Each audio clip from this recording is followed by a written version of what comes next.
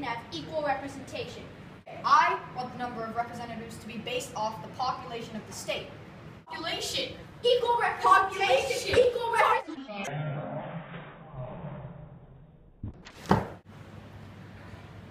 I, Robert Sherman of Connecticut, have an idea.